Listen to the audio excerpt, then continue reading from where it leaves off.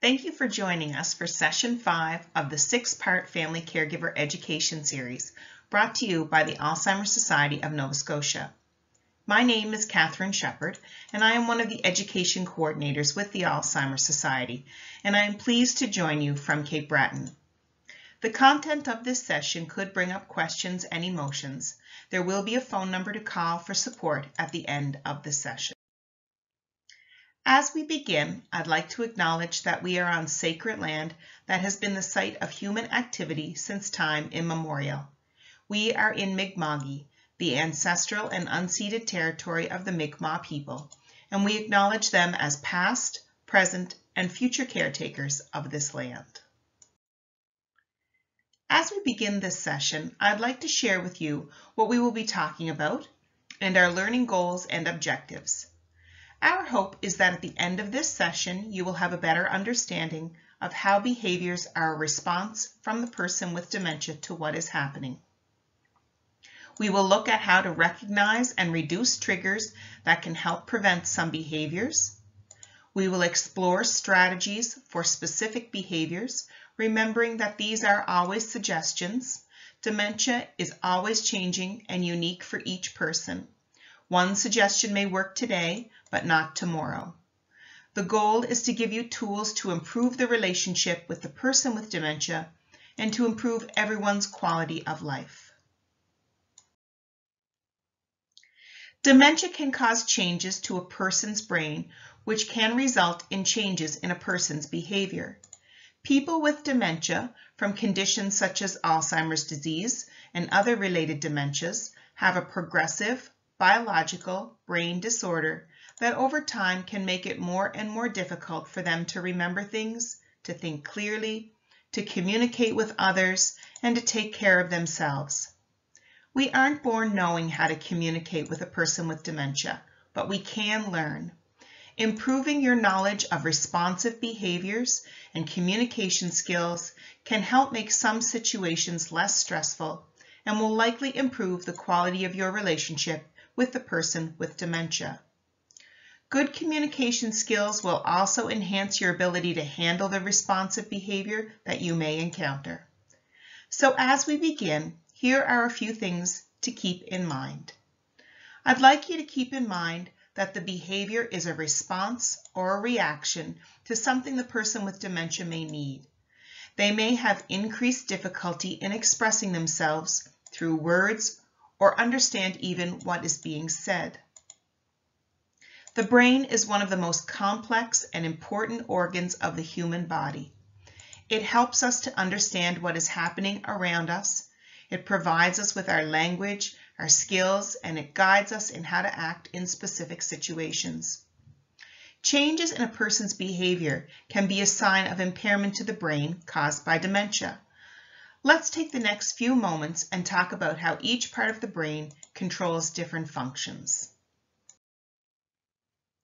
Your brain is your most powerful, powerful organ, and yet it weighs only about three pounds. The brain is made up of three main parts. The cerebrum, which fills up most of your skull, it is involved in remembering, problem solving, thinking, and feeling. It also controls movement.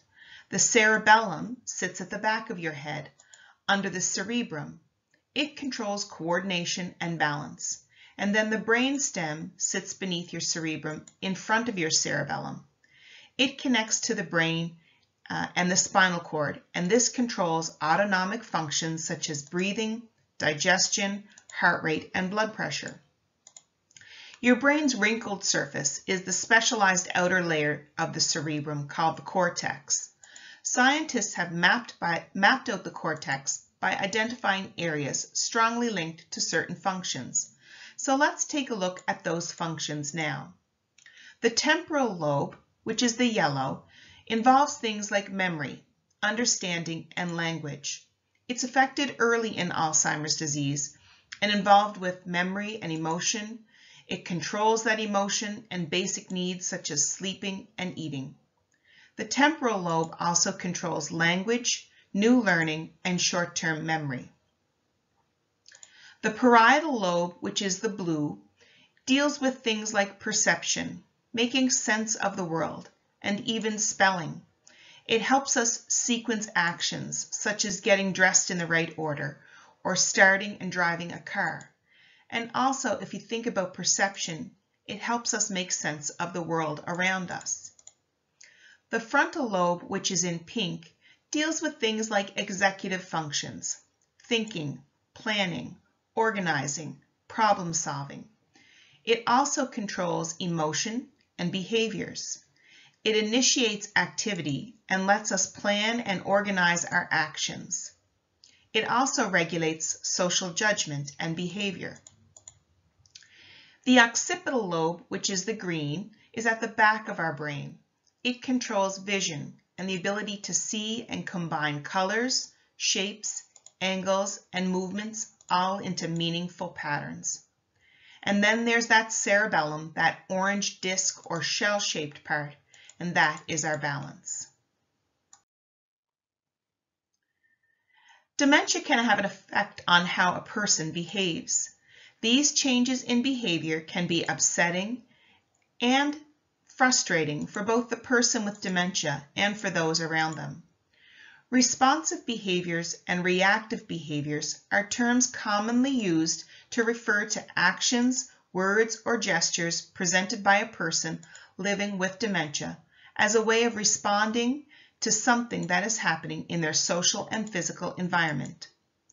Learning about responsive behaviors and the other changes that may occur as the dementia progresses can help prepare you for the ups and downs that often accompany this disease. As the disease progresses, acknowledge that damage to the brain can make it difficult to express thoughts and perform routine tasks.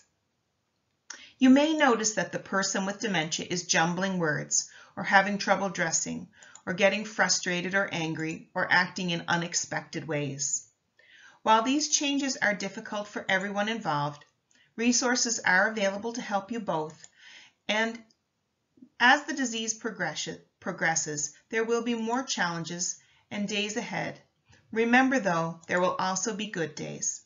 As your relationship with the person with dementia changes, you can find new ways to connect, and as you experience new changes, remember that the person with dementia, like anyone else, still has that need for human engagement and connection.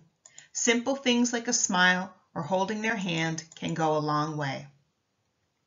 Ultimately, we can't expect the person with dementia to change. We must do the changing.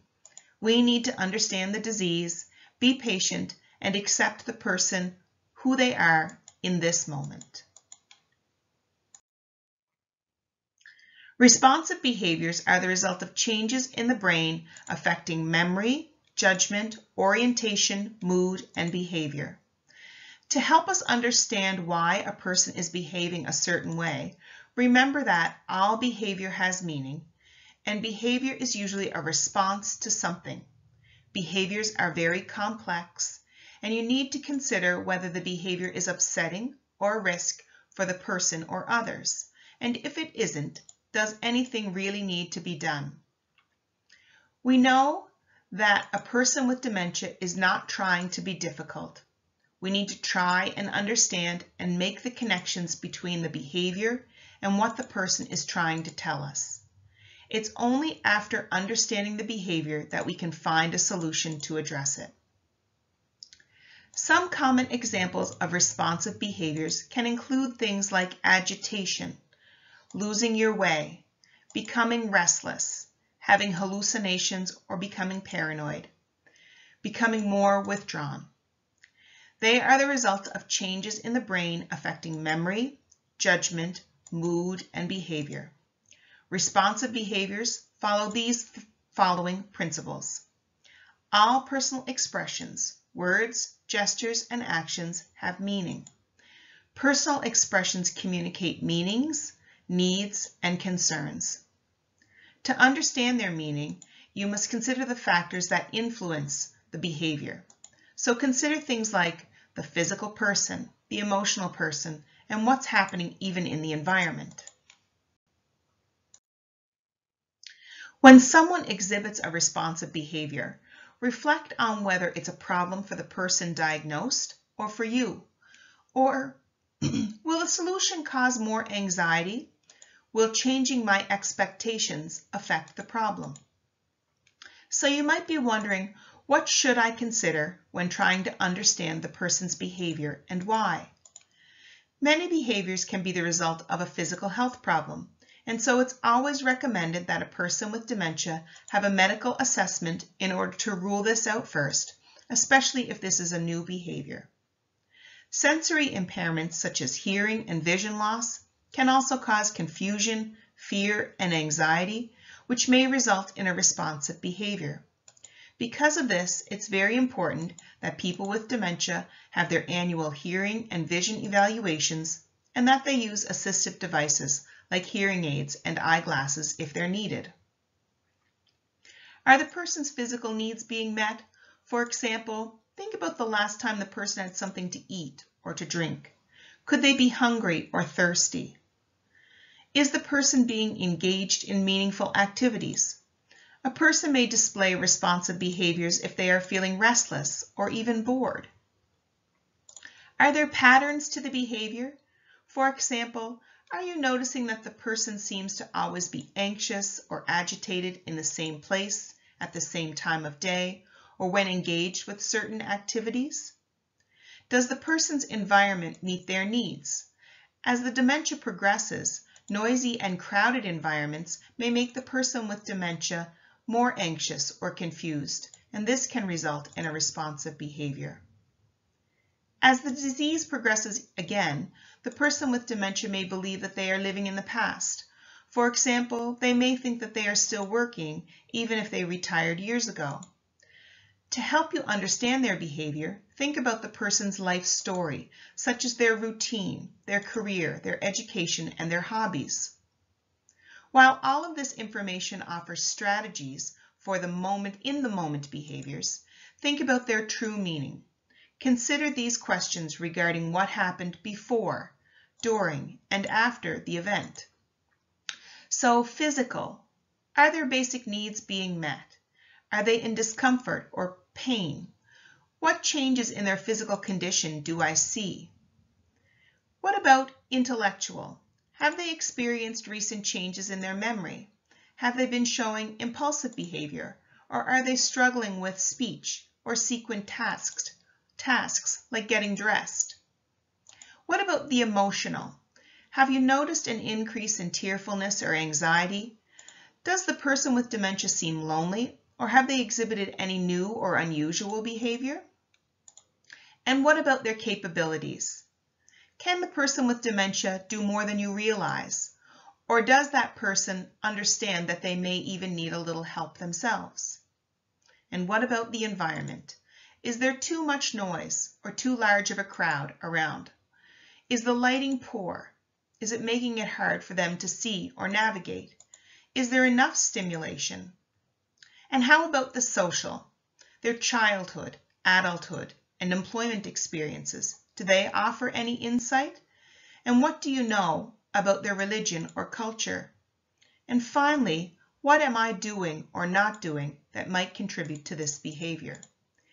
Stay tuned and we'll be right back in a moment with more.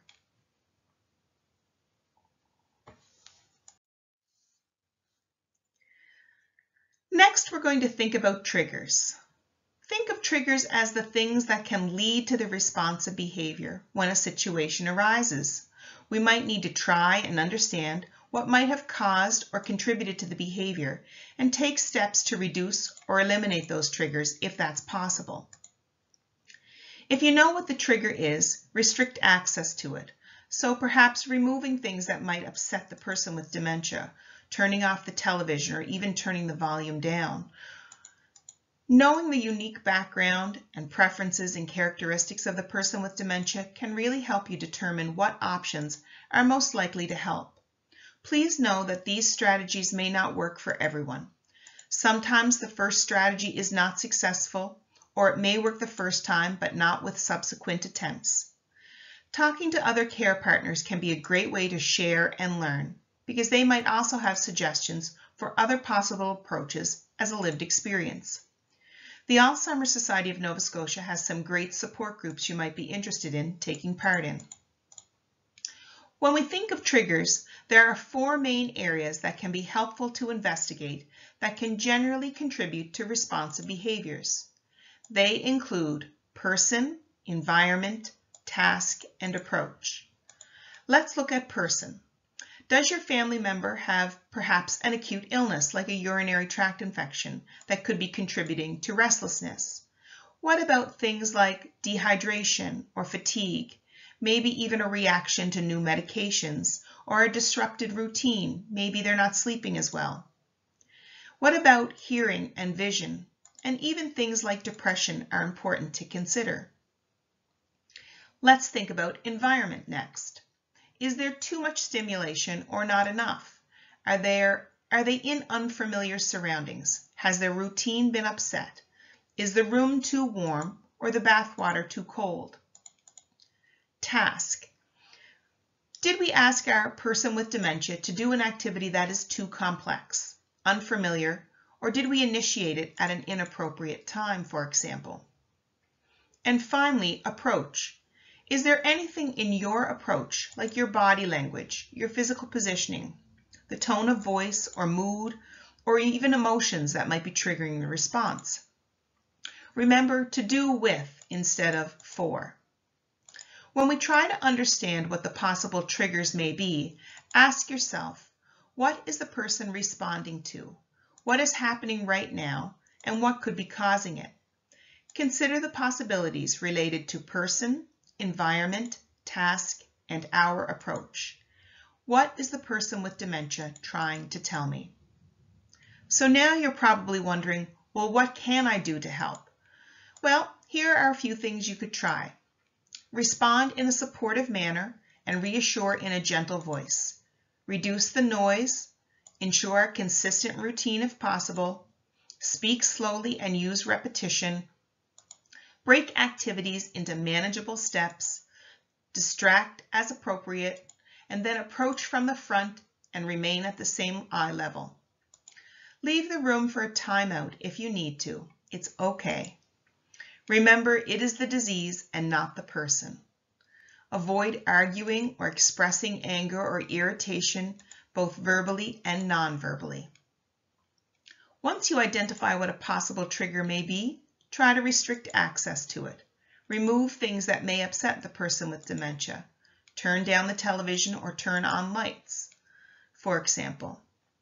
Some triggers can't be removed, and so the best thing we can do is try to limit our exposure to that trigger. People with dementia are like the rest of us. Each person has a story, a unique personality, life experience, interests, and preferences.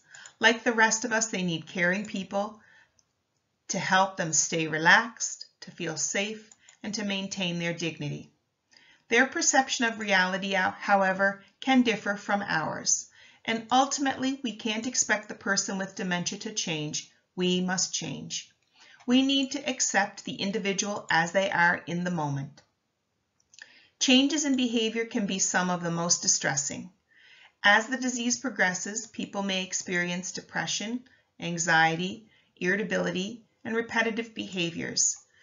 As the disease progresses, other changes may occur, including sleep changes, physical um, and verbal outbursts, or even losing their way. Understanding what behaviors, learning how to assist the person with dementia can really help. What we need to do when a behavior is happening is to explore these ideas and try to understand why it is happening. As people with dementia lose more of their abilities, maybe to find words or express thoughts, follow conversations, they also may have more difficulty even understanding others. Communication changes include trouble finding the right word, repeating questions, losing a train of thought, maybe reverting back to a first language learned, and even relying on nonverbal communication. You can help communication by making simple changes, such as speaking slowly and distinctly in a gentle tone. If you notice a sudden change in communication, make sure to contact a family physician, a nurse practitioner, or a nurse to see if this could indicate other medical issues, such as a side effect of a medication. Your family member may refuse, perhaps let's say, to enter a living room in the evening. So let's think about what we can do or what could be contributing to this. So is the lighting low? Is it making shadows in a room? Try turning on lights, even opening the curtains. Maybe the TV is too loud, or perhaps there's a TV show on that where their perception and reality may not be quite the same as ours could be very scary. Then I want you to think about who is the behavior a problem for? So, for example, if your person repeats the same story multiple times, is the repetition really a problem, or is it a challenge for us because we've heard this story many times? Will the solution cause more anxiety than the problem? So, for example, um, if your person has an appointment but has challenges with orientation to day and date, sometimes putting it on a calendar or a big wall calendar isn't always beneficial. Maybe it's better to tell them about the appointment to the day of and when it comes time to take them there. And then we have to consider, is the behavior a safety concern? And if so, it's important to solve that behavior. Behaviors are safety concerns if the person is at risk of harm or injury to themselves or to someone else. So for example, has your person left a dish towel to dry on a stove that's hot or lit?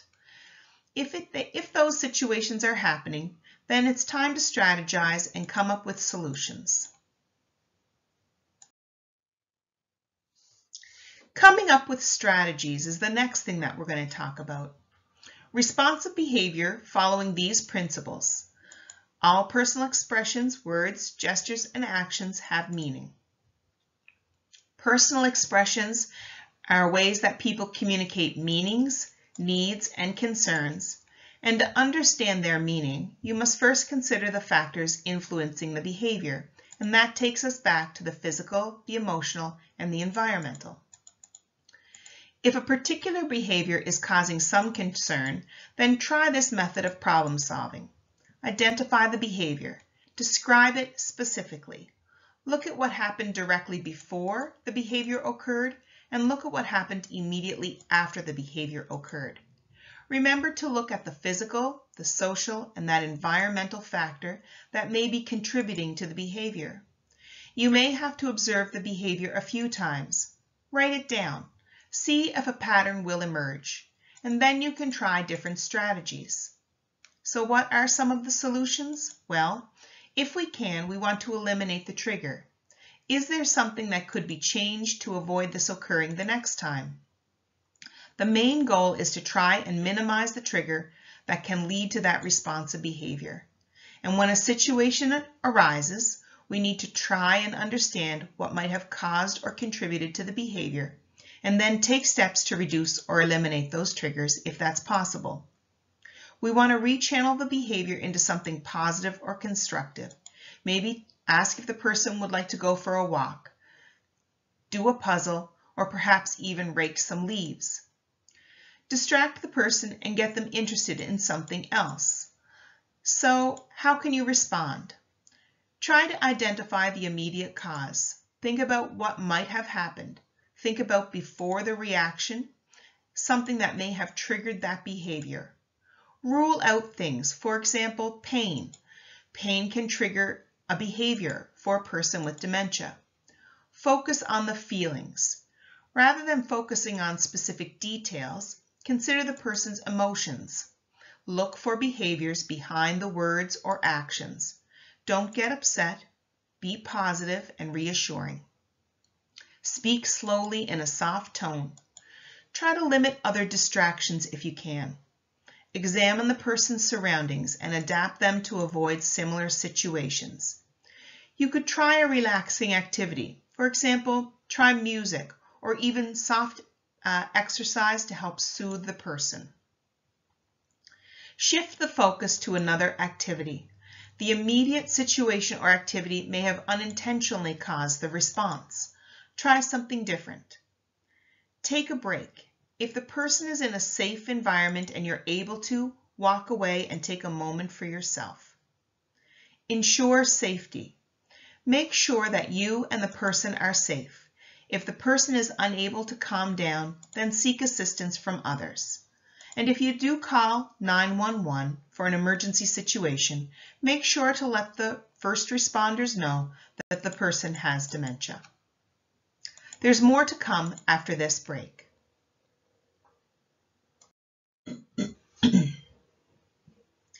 Let's take the next few minutes and look at a couple of common behaviors and think about some strategies for support. So let's think about this as the symptom. Problem with language, forgetting simple words or using the same word or the wrong word. The more dementia progresses, the more difficult conversation can become. While feeling disheartened is normal, don't give up. What could be the behavioral response? Well, perhaps somebody will start to have some repetition in the words that they use. Maybe they'll withdraw from conversation because they have difficulty expressing themselves. What could you see the emotion be because of this? Maybe the person will become frustrated or agitated or even angry. So what are some possible strategies? Well, if a person with dementia is repeating themselves, try practicing patience. Listen to the story and ask them to tell you more about it. This is an easy opening for you to be able to communicate together freely. If the person is withdrawing, they may be overstimulated or unable to follow the conversation. It may be helpful to bring them to a quiet place where they can collect themselves. Be patient. Allow time for a response. As dementia progresses, the person with the disease may no longer be able to communicate verbally what their basic needs are, such as the need for food or drink or sleep. And so when communication becomes difficult, the person may start using behaviors to communicate their needs to those that are around them. So how can we respond to that? Well, stay calm. The key is sometimes people with dementia will have trouble with language and forgetting words and even names. And although being called by a different, different name or not being recognized at all can be painful, try not to make your hurt apparent. Respond with a brief explanation and don't overwhelm the person with a lengthy statement or reason. Instead, clarify with a simple explanation. Show photos or use other reminders. Photographs and other thought-provoking items can help remind the person of the important relationship or place. Travel with that person to where they are in their own time and space. If the person's memory is focused on a particular time about their life, engage them in a conversation or recollections with an understanding that this is their current reality. Avoid explanations that sound like scolding. Try things like, I thought it was a fork, or I think that's your granddaughter. Try not to take it personally. Alzheimer's disease causes the person with dementia to forget, but your support and understanding will always continue to be appreciated. Let's think about the next symptom, disorientation in time and space. So maybe not knowing what day of the week it is, or even coming out of your home, turning left, and getting lost. What could be the behavioral response? Well, getting disoriented in public places, missing appointments, forgetting family birthdays or anniversaries. What emotion could we see go along with this? Well, frustration, anger, agitation, worry. And so what are our possible strategies? Well, missing appointments, forgetting birthdays. You can write it down on a wall calendar or use a special clock with a day and a date. If this causes anxiety, then maybe try telling them about the appointments just before it's time to leave. If the person with dementia is losing their way or has some disorientation, try to be with your family member for guidance. And if you're not able to be there, maybe place a contact information card in a family member's pocket, wallet, or purse. Maybe even look into the possibility of a medical alert safely home bracelet. Dementia can cause people to lose their ability to recognize familiar places and faces, so they may also lose their way or become confused about their location. The person with dementia may have a hard time recognizing their physical surroundings and perhaps even get lost in a place that has always been familiar. They may not understand what to do in a particular setting, so changes in senses, such as sight and hearing, can also make it difficult for the person to understand what is happening, which may cause that anxiety, anger, or even withdrawal, all self-protective behaviors. So how can we help to reduce the risk of wandering or losing their way? Provide opportunities for the person to engage in structured and meaningful activities throughout a day. Identify a time of day that the person is most likely to wander and plan things to do during this time. Activities and exercise may help reduce that anxiety or restlessness. Ensure all their basic needs are being met, things like toileting, nutrition, and hydration. Involve the person in daily activities such as folding laundry or even preparing dinner. And reassure that person if they do feel lost or disoriented. If the person is still safely able to drive, consider using a GPS device to help out if they get lost. And if a person is no longer driving, perhaps removing access to car keys. A person living with dementia may not just wander by foot, they may also forget that they are no longer able to drive. Avoid busy places that can be confusing and can cause disorientation, maybe like a shopping mall or a busy store. Access the person's response to new surroundings. So don't leave the person uh, with dementia if the surroundings are new or if they could cause confusion or disorientation. Let's look at the third symptom, problem with abstract thinking. Maybe things like paying the same bill twice, overdrawing from a bank account, or difficulty using telephone or the computer maybe mistakes providing cash at the checkout. This can really make people vulnerable as well to fraud and theft, and things like money having money going missing. What could be the behavioral response? Well, they may become more suspicious of others. They may exhibit, exhibit emotions such as anxiety or worry. So what could be some possible strategies? Well, set the person up for automatic debit payment for bills maybe providing smaller amounts of cash for them to have on hand, putting limitations on credit cards and bank withdrawals. I think it's also very important that people that we need to acknowledge that people may not understand what they are being asked to do and at times can be overstimulated or even understimulated or feel rushed. This can really happen when someone's perhaps checking out at a grocery store this may cause frustration, which may result in a responsive behavior. What about the symptoms such as a change in mood or behavior? So your person is exhibiting mood swings. The behavioral response to this?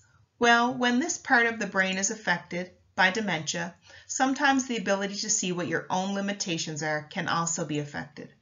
This person could lack insight. What are the emotions? Oftentimes we'll see people being fearful or suspicious, maybe anger or frustration, or even anxiety. What are our possible strategies? Well, we want to acknowledge their emotions and provide reassurance. Play some familiar music that perhaps could soothe the person or reminisce about a pleasant time. If the person with dementia is unable to use words to communicate their pain, then they might start using behaviors as a way of communication. Some behaviors might include becoming agitated or withdrawing from others. Sometimes families or even healthcare staff may find these behaviors disruptive. People may also experience depression or delusions. Delusions are false beliefs about someone or something, or a delirium, which is an intense episode of confusion, and respond with behaviors that others might find difficult to understand. How do we respond to this? Well, we want to make sure that we ask permission and go slow. Use calm and positive statements, reassure, slow down, maybe add some light, or offer guided choices between two options. Focus on pleasant events. Offer simple options and try to limit stimulation. Maybe saying things like, may I help you? Or, do you have time to help me? You're safe here. Everything is under control. I apologize. I'm sorry that you're upset. I know this is hard. Or even something like, I'll stay with you until you feel better. Make sure we're listening to the frustration. Find out what may be causing the agitation and try to understand that. Provide reassurance. Use that calming phrase again. Things like, you're safe here, or I'm sorry that you're upset. Let the person know that you are here.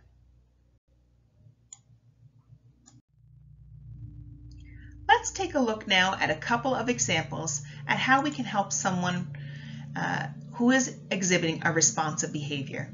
Remember, each person is different, and so you'll have to look at the uniquenesses of the person that you're supporting in working to find a solution that works best for them. Here's our situation number one. A person with dementia living at home with support from family, friends, and home care staff. It was noticed that every day around 4 o'clock, that person with dementia would get very anxious and pace the same hallway back and forth. The behavior usually lasted for about 30 to 40 minutes. When trying to understand why this behavior was happening, the home care staff asked the family about the routine, the hobbies, and the career and what they found out was that this person with dementia was a stay-at-home parent.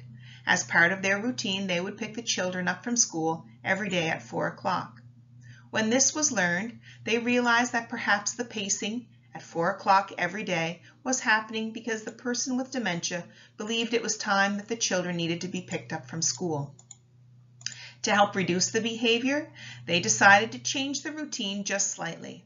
At 4 o'clock, someone was in charge of a meaningful and engaging activity, like going for a walk or perhaps baking some favorite cookies, to help diminish that restlessness and that agitated behavior. So now let's break down situations even more. Let's think about how things can help, what we can try, or maybe even things that are not as helpful. So for example, you notice the person with dementia picks at their clothes or seems restless. They can't seem to sit still, and others around them are now getting upset by this behavior. What could we try? Well, maybe give them something to hold. Distract their attention with music or talk about a happy moment in their life. Go for a walk. Consider things like the environment. Is it too noisy or bright? Or even the time of day. Are they getting tired and looking to have a rest? We don't want to tell them to stop picking or tell them to calm down with a raised voice. What about this example? Someone with dementia who has become fearful or anxious at night because they let you know that they see spiders crawling on their walls. What can we do? Well, let's validate that fear. Saying things like, that must be very frightening is a great way to do it. Remove shadows that could be misinterpreted, so perhaps increase lighting. Maybe try to distract. Add some music, maybe play a game of cards or look at some photos. It may be useful to see if there are any hearing or vision problems. We don't want to say things like, you see there's nothing here, it's just time to go to bed. Remember, reality and perception can be very different for a person with dementia. We don't want to get angry, and we definitely don't want to argue. Think about this situation. Perhaps the person with dementia is convinced that something or someone has stolen money from them. It's a delusion, a firmly held belief that things are, that are not real, and this may occur for people with dementia. Confusion and memory loss, such as the inability to remember certain people or objects, can also contribute to these untrue beliefs. A person with dementia may believe someone is stealing from them or taking their possessions. This kind of suspicious delusion is often referred to as paranoia. Although not grounded in reality, the situation is very real to the person with dementia. Keep in mind that a person with dementia is trying to make sense of their world with a declining cognitive function. A delusion is not the same as a hallucination. While delusions involve false beliefs, hallucinations are false perceptions of objects or events that can be sensory in nature. How can we respond? Well, we want to try and listen to what is troubling that person and to try to understand their reality, and then be reassuring and let the person know that you care. We don't want to argue or try to convince them. Allow the person with dementia to express their ideas, acknowledge their opinions. Offer simple answers and share your thoughts, but keep it simple as not to overwhelm with lengthy explanations or reasons. Maybe try to switch the focus to another activity.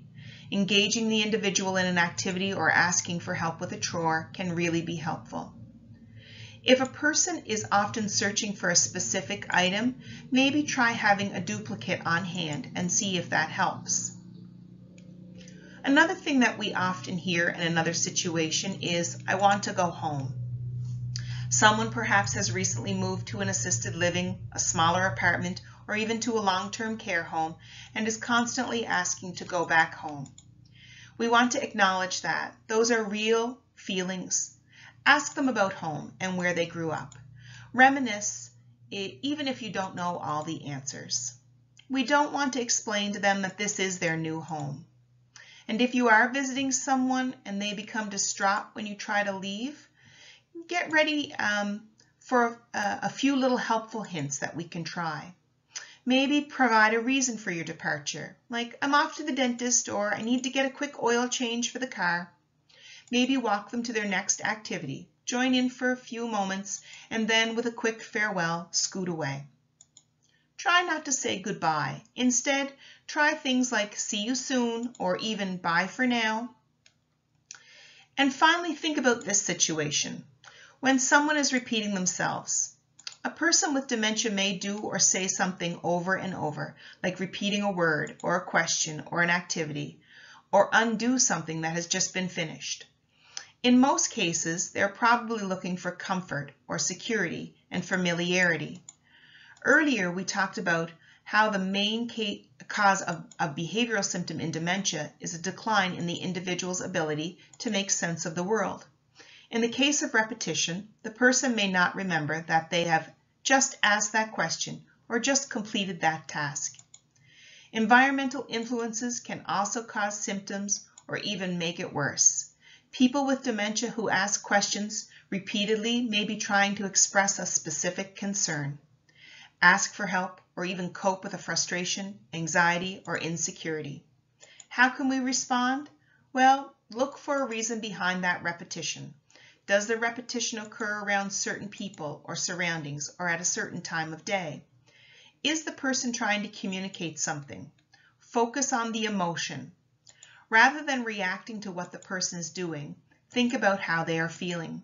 Try to stay calm and be patient. Reassure the person with a calm voice and a gentle touch.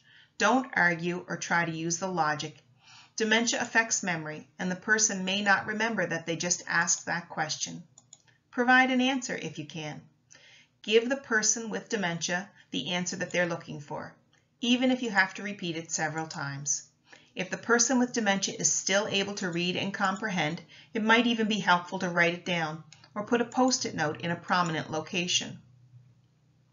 We want to engage that person in an activity. The individual may simply be bored and need something to do. Provide structure and engage that person in something pleasant. Try using memory aids.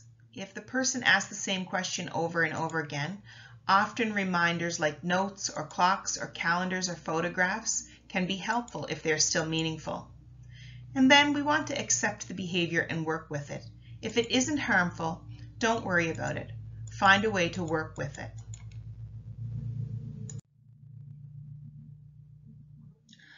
The quote in this slide is basically a summary of the session. The person with dementia cannot change, and so we need to be creative in the way we support the individual. What may work today may not work tomorrow. Flexibility is the key. There is no one-size-fits-all formula when it comes to dementia. Communication is a vital part of our lives. It allows us to express who we are and relate to one another. Communication is more than talking and listening. It involves understanding and interpreting. Dementia affects how people express themselves and understand what is being communicated to them. For the person living with dementia, maintaining relationships can be a complex process, especially when verbal communication is affected. The following changes can be common for people with dementia. There may be some difficulty finding words, creating new words for ones that are forgotten. Maybe they will repeat a word or phrase. Maybe they will have difficulty organizing words into a logical sentence. And sometimes people can even revert to the first language that was learned. You might notice people will talk less than usual. And you may find the person living with dementia has good days and bad days, just like we do. This can depend on the person's uh, ability and quality and the amount of sleep or stress or other medical conditions, and needs that may require day-to-day -day care can also influence this. These can result in conversations, this repetitive behavior can result in conversations that can feel onerous and frustrating for both you and the person living with dementia. So what can we do to help? Well, what are our tips for successful communication? Try to engage the person in one-on-one -on -one conversation in a quiet space that has minimal distractions. Speak slowly and clearly and maintain eye contact. It shows you care about what they're saying.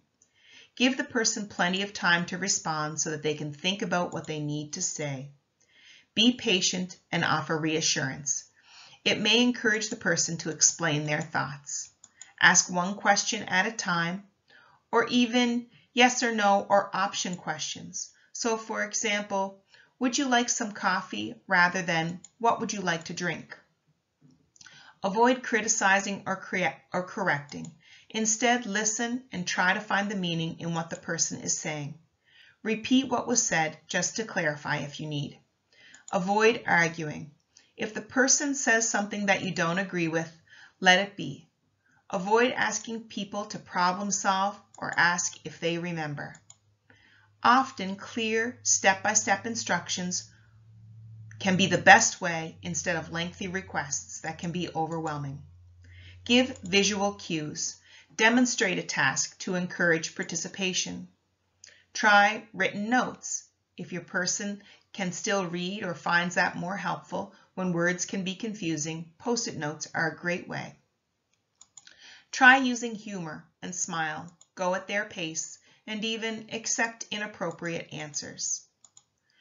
When we're talking about communication tips for people with dementia, the things we want to keep most in mind, well, Use what you know about the person. What does the person like? Use that knowledge to suggest conversations, topics, or activities that they may enjoy. We want to nurture the person's skills and abilities. Focus on what they can do instead of what they can't. When the person is making a choice, offer them a couple of options that you know they will like. Try to reduce distractions. So take note of possible visual or auditory distractions in the person's environment and try to minimize them. We want to try to account for any hearing or vision challenges that the person may have. When we say chat face to face, what that allows us to do is make eye contact with the person. We want to avoid talking to the person if you're behind them or where they can't see you. Speak clearly, use short and simple sentences. Show as well as talk. Use actions that can help give your words meaning. We want to be flexible. A person's abilities can change from day to day, so take a few moments at the beginning of the conversation to assess how they're doing. Look for changes in behavior and body language that may tell you if the person is what the person is feeling, especially if it indicates discomfort. Adjust to accommodate. When the person is unable to communicate verbally, communicate through senses, like touch. And finally, stay positive. Be aware of your own tone and body language. Model the mood. Connect instead of correct. Ignore mistakes and give encouragement. When you feel overwhelmed, take a step back and exhale, and take care of yourself too. On the days when these tips don't seem to help, remember that your presence is still felt by the person living with dementia. It's not easy to be there for the person while also taking care of yourself at the same time it's important to find a healthy balance and ask for a hand when you need it. So what are our key messages? Well, the person with dementia is experiencing changes in their brain that affect the way they perceive the world around them and the way that they respond. They need the support and the help of people who know them in order to navigate the world. The key is knowing the person and offering the right amount of support while trying to help them maintain their independence as much as they can. It's important to remember that the person with dementia will have good days and bad days, just as you and I have good days and bad days. Some days just be more intense or extreme. I want you to think about the person-centered care as a philosophy that recognizes that individuals have unique values, personal history, and personality, and that each person has an equal right to dignity, respect, and to participate fully in their environment and their ultimate goal of person-centered care is to enhance quality of life with quality of care. Consider the feelings behind words or sounds. Sometimes the emotions being expressed are more important than what's actually being said. Treat the person with dignity and respect. Avoid talking down to the person as if they aren't there. It's okay if you don't know what to say. Your presence and friendship are most important. Dementia doesn't stop, and neither do we. Our staff and volunteers provide support programs, educational resources, and referral services, and more to ease the quality and stress of care and improve the quality of life for people living with Alzheimer's disease and other dementias, as well as their caregivers and families. Or if you are concerned that you may have dementia or have been recently diagnosed and are unsure what the next step is, the Alzheimer's Society of Nova Scotia can help you get the information you need. Experience has shown that the earlier people begin to learn and strategize about living with dementia, the better they are prepared. Earlier preparation can also help care partners support, provide the support as the disease progresses. We hope that you will find relief in knowing that you are not alone. To get you through these difficult times, we have developed some very helpful resources that can help that you can access through our website and also through information and support line. No matter where you live in Canada, you have a society that can be involved. Your society can help support you with programs, services, educations, and resources tailored to you. If you'd like to learn more, please call your local Alzheimer's Society. It's never too early or too late to connect. Thank you for joining us for Session 5 in the six-part Family Caregiver Education Series brought to you by the Alzheimer's Society of Nova Scotia.